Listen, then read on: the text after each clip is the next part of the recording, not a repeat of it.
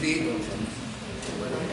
Eh, buongiorno a tutti, sono Gianni Di Segna, ex dirigente dell'Agenzia delle Entrate, da, qualche, da parecchi anni, quasi dieci anni in pensione ormai, e pre-pensione.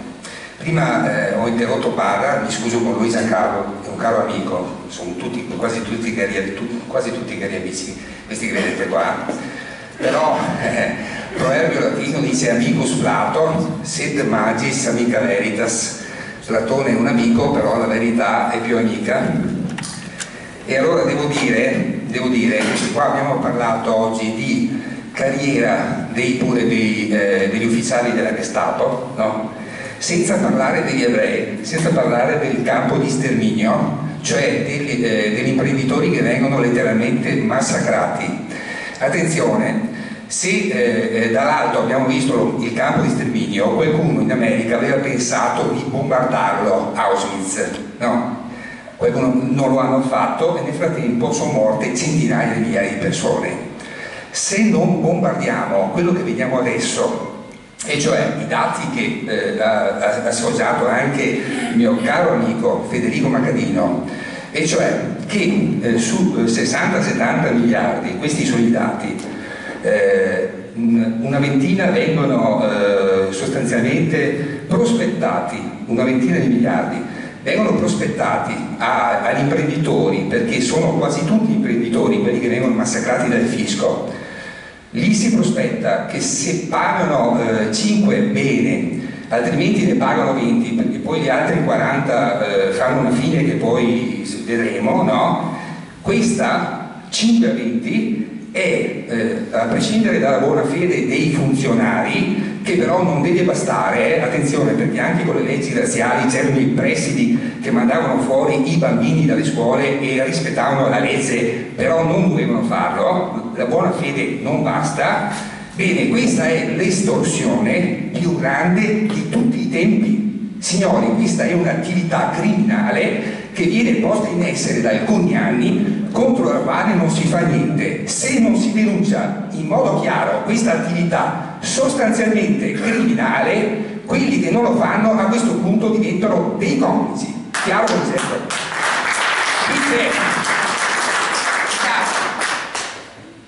Pronto? Eh, scusate, i dati, i dati sono spaventosi. Ci sono 800 miliardi di crediti inesigibili dell'Agenzia delle Entrate. Ciò significa che eh, tutte le centinaia di miliardi di accertamenti che sono stati fatti non hanno monte, come diceva Federico, una capacità contributiva vera. Quindi questa è un'attività sostanzialmente estorsiva che sta spazzando via tutte le piccole imprese, pilastro dell'economia e dell'occupazione.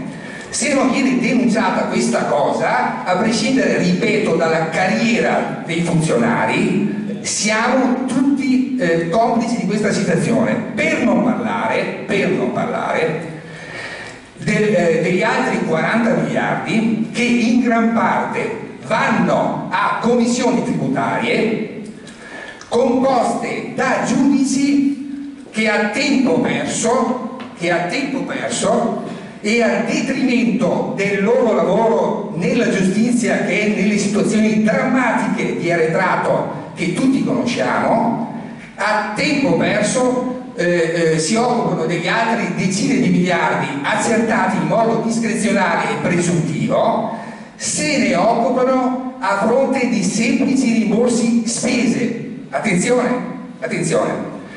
L'Agenzia delle Entrate sta regalando a, eh, ad alcune centinaia o migliaia, adesso lo so, di persone il potere di vita e di morte economica su eh, migliaia di persone e decine di miliardi. E sappiamo che la corruzione è frutto soprattutto della discrezionalità, signori miei. Se poi andiamo ad analizzare fatti singoli, ci sono testimonianze drammatiche che lo dimostrano, di eh, eh sostanzialmente eh, di sostanzialmente ricatto e, ed estorsione e minaccia che poi vengono fatti passare dall'Agenzia delle Entrate come testualmente normale rapporto fisco-contribuente.